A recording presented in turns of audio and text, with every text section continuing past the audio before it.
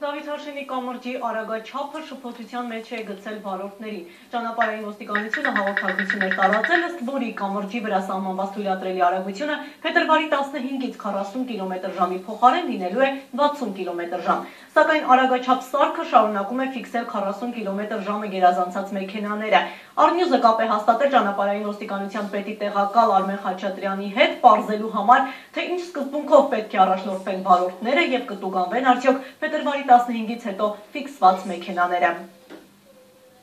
Փետրվարի 15-ից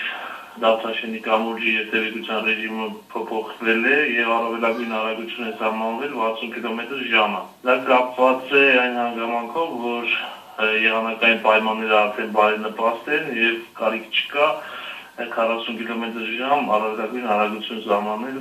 կամուրջի տարածքում բազմաթիվ անգամ պարզաբանվել եւ հայտարարություններ տրվել, որ ամսի 15-ից գործելու է առավելագույն արագությունը 60 կմ/ժ առավելագույն արագության ռեժիմը, տարագաչափերը ֆիքսեն աշխատեն 40 կմ/ժ առավելագույն արագության ռեժիմով, նման իրավիճակ ուղղակի չի կարող լինել, դա հեռու է իրական լինելուց։ Այո, երբեմն արագաչափերը դրանք տեխնիկական սարքեր են, երբեմն դրանք փորձարկվում են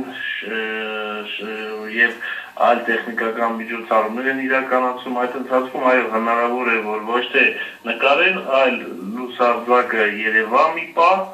սակայն դա ուղղակի կապված է այդ տեխնիկական հարցերի բարձրաբանման հետ եւ ոչ թե արագության ֆիքսելու հետ պաշտոնապես հայտարարում եմ եւ զանգվածային լրատվական միջոցներով էլ բազմիցս հայտարարվել է որ ամսի 15-ից գործելու է 60 կմ/ժ առավելագույն արագության ռեժիմը եւ նման ռեժիմով էլ աշխատում է իմ արագաչափը